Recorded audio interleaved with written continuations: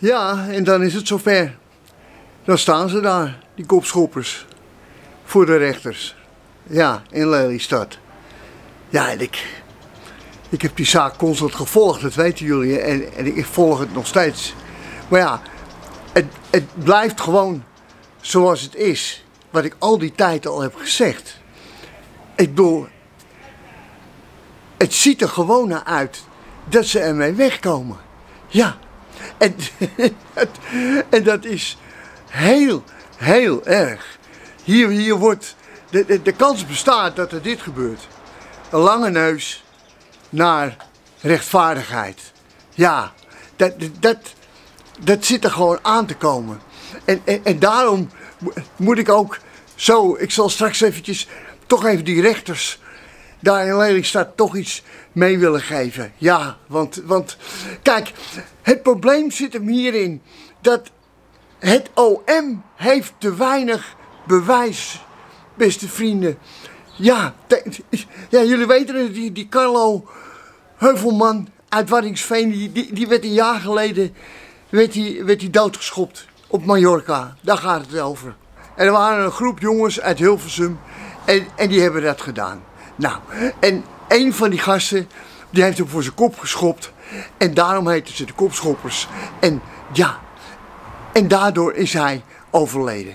Nou, en, en sindsdien is het OM natuurlijk op zoek gegaan naar filmpjes, video's, getuigenissen. En ze krijgen dat niet rond. Ze de, de getuigenissen spreken elkaar constant weer half tegen. De video's geven geen echt duidelijk beeld van wat er zich heeft afgespeeld. En dat is er gewoon aan de hand. Ja, en, en dan heb je geen niet echt een bewijs. Ja, je moet, je moet bewijzen kunnen wie heeft die schop gegeven tegen het hoofd van Carlo Heuvelman. Daar gaat het om. En, en die jongens onderling, kijk, dat is ook nog eens een keer een vervelende factor. Die hebben nu al, die zijn al een tijdje weer op vrije voeten. Die hebben met elkaar afspraken gemaakt. En, en, en die wijzen gewoon keurig naar elkaar. En dat gaat maar door. En, ja, ja, en dan hebben ze ook nog eens een keer een stelletje slimme advocaten. En die fluisteren hun alles in.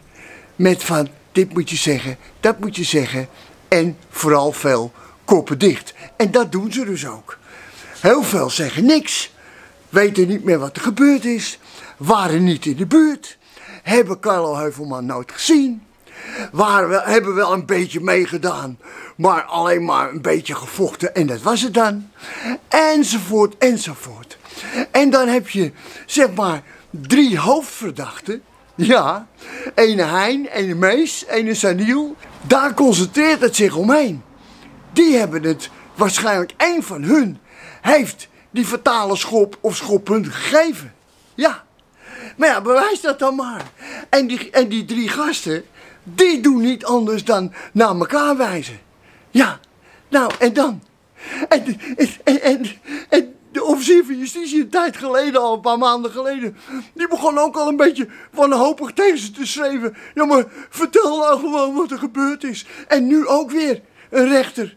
Ook weer wanhopig. Van ja, maar vertel nou eens een keer, wees een kerel en vertel wat er gebeurd is. Ja, maar dat is de wanhoop van de rechtbank. Omdat ze gewoon helemaal niks hebben. Ze hebben niks. En straks moeten ze ze gewoon laten lopen. Ja, dat, zo, ja. en daarom, daarom vrienden, wil ik tegen die rechters zeggen, beste rechters. Wat ik net zei, kijk uit dat dit geen lange neus wordt naar rechtvaardigheid. Dus wat gaan we... Kijk, je kan ook een groepje, kan je gewoon veroordelen. Dat kan in de rechtspraak. Daar heb ik, heb ik over gelezen. Dus pak nou gewoon die drie hoofdverdachten. En als niemand iets wil zeggen en niemand wil vertellen wie die schop heeft gegeven, dan is het afgelopen.